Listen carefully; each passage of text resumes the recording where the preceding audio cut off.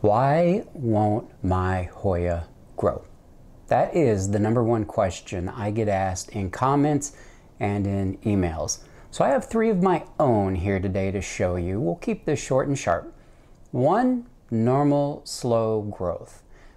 Maybe we'll start with that because that's the positive one. uh, I have another one that I'm pretty certain the roots are trash from dry rot. Could be my fault, but we don't finger point on this channel, you know that. And then I have a third one that I'm actually uh, quite concerned about. So we'll get into that one last, just in case there is a pest issue. Stick with me. Hey guys, it's Dave. Today we have a specific focus on our Hoya problem. So I'm going to take some things for granted with yours if it's not growing. I'm going to assume it's getting adequate light, that you're watering it, that you're not letting the leaves turn to tissue, that you're feeding it appropriately, and that it has favorable room conditions for your particular species or cultivar. My Svetlana has suffered has suffered some cold damage. Um, I had Jesus. Okay. okay. So what we're looking at for your plant that is not growing is it looks healthy, pest free, and it's met those other requirements. Actually, backing up to the pest one, I shouldn't just skip over that one. Mealybugs you're going to see on your plant. Can't miss that if you give it even a cursory inspection when you water it. Flat mites you'll know without a microscope because they're going to eat the new growth and you're going to have nubby, uh, what would you call it, like cauliflower looking nubs um, browned down. New growth will keep trying to come out and it'll keep getting chewed down. Let's rule that out. Spider mites, you'll know from looking at the top of the leaf, even though that's not where they're probably going to be, because you'll start seeing that leaf deform as the spider mites suck the sap out of it. When you look closely at the underside of that leaf, you'll see a brown rash, little tiny dots. It may have a reddish cast to it. Um, spider mites are easier to deal with than what I have been dealing with uh, earlier this summer and what has me concerned about one of the plants down here. Um, just a note about when one leaf dies, a pest problem can start on just that one leaf.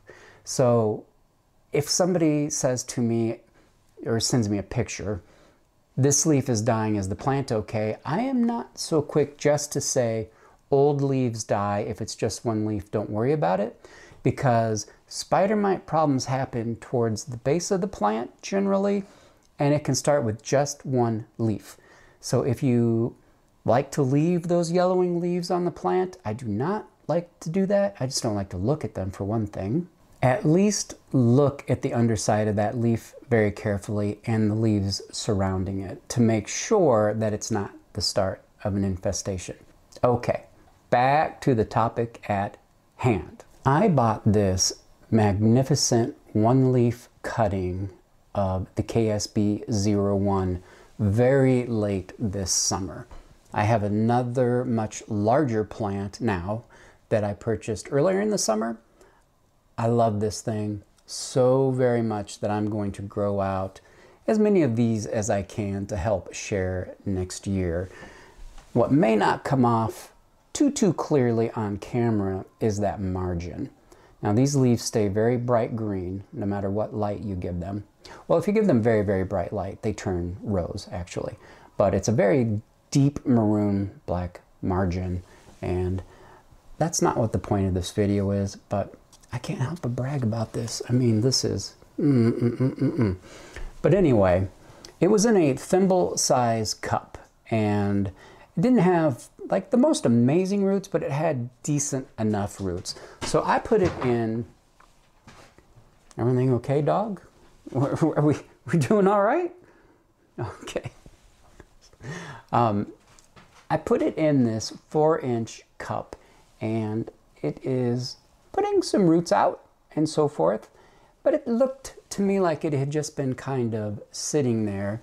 It came with this growth, it didn't even really look alive. Now, some, and sometimes that happens.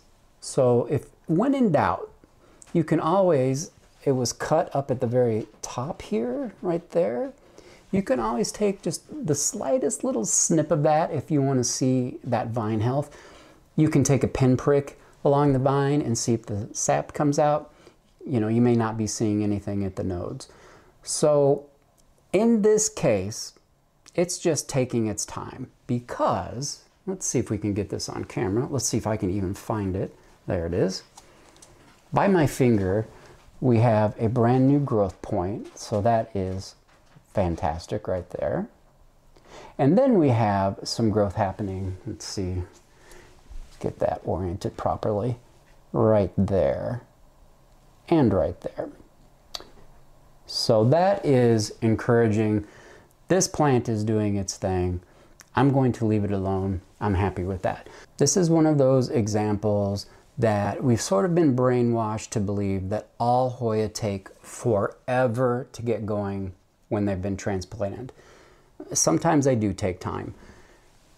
The roots, like I said, like I already showed you, are coming out, but you would not call this a pot full of roots.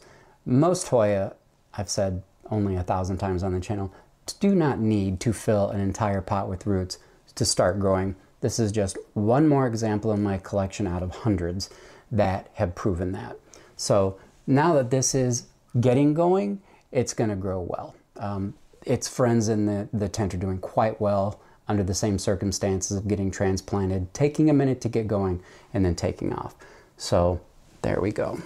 I realize you may be newer to the channel or you might be brand new if you just saw my orchid unboxing video. And by the way, if you did and you know something about orchids, which I don't, thank you so much for being kind in my ignorance and educating me uh, a little bit about orchids. Until the other day, I did not know that orchids is not the genus. I thought orchid was the genus. And y'all were very kind to teach me the progression of that. And I won't get into it now, but, but that was really sweet of you to do that. But we are told over and over and over again that Hoya are so slow to grow. They just sit there in the pot. Um, do you remember, what was his name?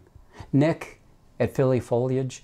Uh, his old apartment, he had just dozens of Hoya, two leaf cutting, three leaves, uh, you know, two nodes, doing nothing. Video after video after month after year and years in some cases. And then he moved and he got much better lighting for his Hoyas and all of a sudden they were growing like magic. That has been my experience with the vast majority of Hoya that I grow. Always exceptions, there will always be exceptions, but growth is what I expect. When something is not growing for some period of time, I get the sense that something is wrong. Let me show you something that I screwed up this summer. If you've been around on the channel a minute, you may have seen this one this summer. This is Specie Bogar. Really, really pretty plant. And I decided to, at some point, spring or summer, I, I don't remember, I moved this from my office tent room to bedside. So it went from a west window, which all afternoon gets insanely bright light during the summer. So I have shears pulled to a south window. Our, our house is tall and it's kind of like living in a canopy of mature trees. So the sun is much less bright. I also put it with a couple of much larger established plants in much larger containers than this one is. And I kind of treated it like those. That is, that's just wrong. that, that was not smart on my part. And I should have watered this a couple days ago, but I knew it wouldn't matter and I wanted to save it for the making a video. And today's when I felt like making the video. It's Tuesday. So it looks looks pretty good, right? You would not post a picture of this, and I doubt very many people would say, oh no, something's wrong with that. But do you see this? This is not good. This plant should be very firmly in that substrate. This is an established plant. This has been around a while. Excuse me while I pull my stool back up. So I have noticed that the taco test, which, you know, I just abhor that standard, is the standard for this plant, even after it's been watered the last few times. Now, some of the top ones are still a little bit firm.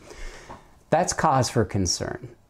So it's annoying when people post a picture online and then people who have been around want to look at the roots. But that's what we need to do. And it's just the more time you spend in this hobby, the well, it's inevitable that you will realize most of the problems. I was going to say the root of the problems, but you know, that's beneath me. It is the roots. And so whatever's happening up here is a symptom of the problem. It's like alcohol and the alcoholic, a symptom of the problem, not the problem. Sure looks like it though, but another topic, another time. So what I need to do is get in, good example of a leaf that's dying off. So there's a yellow leaf. This is what it looks like underneath. You'll see those kind of dark marks. That's just a little edema. Inconsistent watering is usually how people define that online. You know, obviously I gear these type of videos to a beginner, so I'll go a little bit more in depth briefly on that. When you give the water, the plant, sorry, more water than it can process and transpire, so you sometimes, especially like on philodendron monstera, you'll see those water drops. Uh, that's kind of a dramatic example of it it will fill up the cells and they'll burst and it leaves permanent damage. It's absolutely harmless. It happens most often in the youngest leaves for me. And then as the plant matures and it's able to take up much more water um, it kind of takes care of itself. So i don't take it personally or like think i'm doing something wrong. Um, i think when people say inconsistent watering i automatically feel like well i'm doing the best i can. And so i would i would just say um, yeah, it's inconsistent water. All right, we're gonna get into this. I will just take this little stake out. We're gonna do a little ceremonial retirement of the butter knife. I just picked one out of the drawer randomly because that is how I use them botanically. so I don't know, I'll have a little office party for that. Dear friend of Sober Plant Guy sent me this as a gift along with uh, a beautiful cutting. Um, you have seen many of her plants on my channel at this point. Basically my benefactor and a great resource uh, to boot. So I loosen this up on the sides. I don't think I'm going to have to, I don't think that was necessary. You can see that this is going to pull out and give me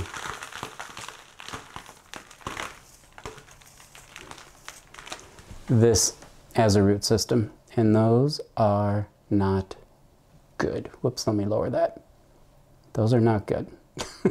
not, not, even a little bit. can't, can't even tell you how dry and ruined this plant is. So starting a plant over isn't the end of the world. There's, this is completely healthy, so I'll be able to propagate all of this. Um, it's in no way a valuable plant. Um, I got this as just a tiny little starter. Um, it's been bigger. I've taken cuts off of it. Some of you have some of this plant. Um, but you know, I was really looking forward to blooming it next year. Starting a plant over that's mature doesn't necessarily preclude that I wouldn't get a peduncle and to have it bloom next year.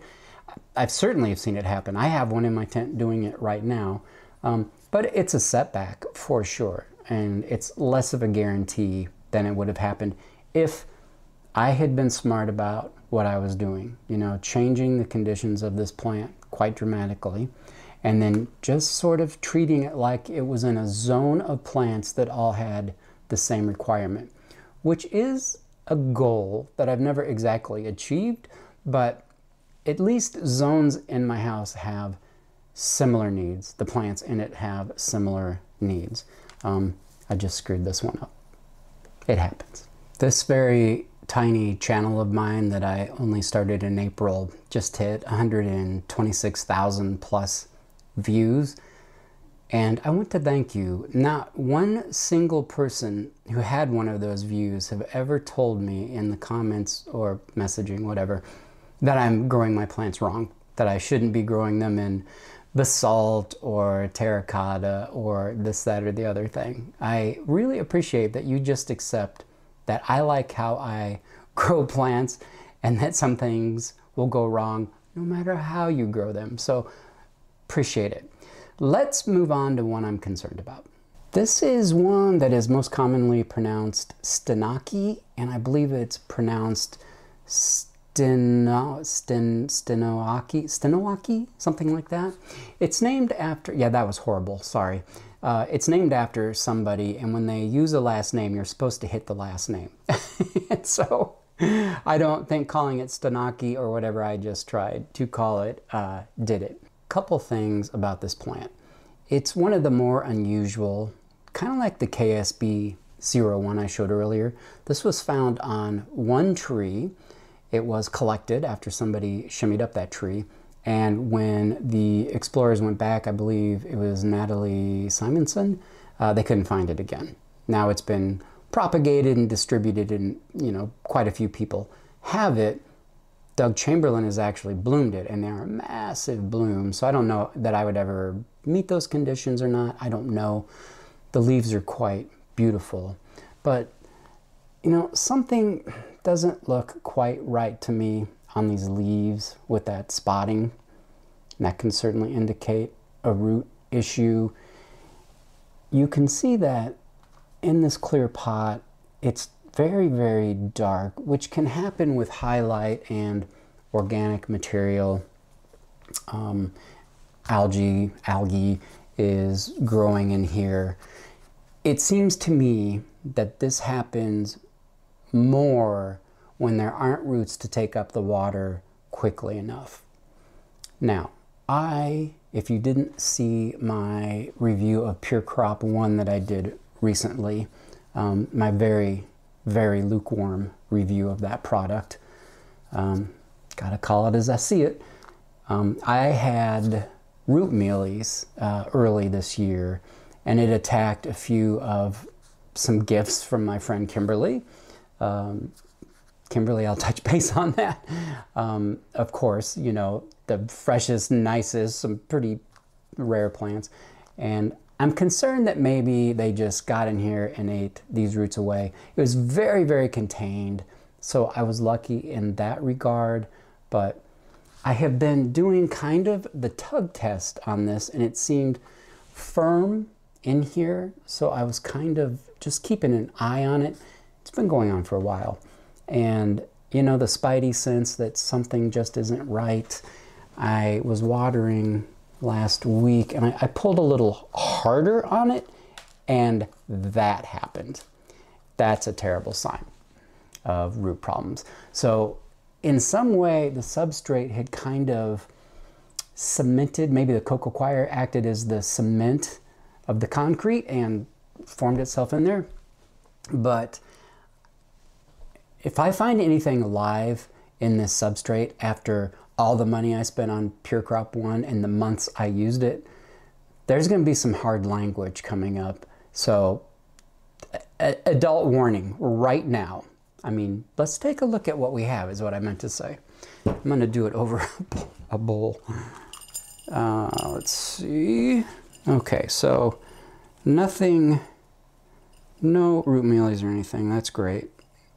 But no, no roots either. just enough, just enough roots to keep this plant alive. I would, I would say. And I'm going to show it to you, of course, here in just a second. But you know, it is such a a pet peeve of mine when people say, you know, online, you know, someone will post a picture and say, you know, this hasn't grown in six months and it looks healthy and the response is just always Hoya are so slow, they take forever, the roots have to fill the pot. I just, I just, I don't think that's That's not a great advice. I mean, you really have to find out what's going on. So I have two leaves that look good, maybe in a little bit too much light, maybe not getting proper nutrition because of the root situation. So in this case, what would I do? I would say, there's hardly, all right. Yes, I get to bring out my bonsai scissors. and for those of you who didn't see the last video, Amazon finally put me in their influencer program. So I have a storefront. You can just click on that link, takes you to an organized little storefront of all the products that I use all the time. Um, there's not, gosh, there's not a lot of stem here. Ooh-wee. Let's just take off these roots. I have tried in the past to revive a plant with fresh substrate after cleaning off the good roots and so forth. It, it just it doesn't go well.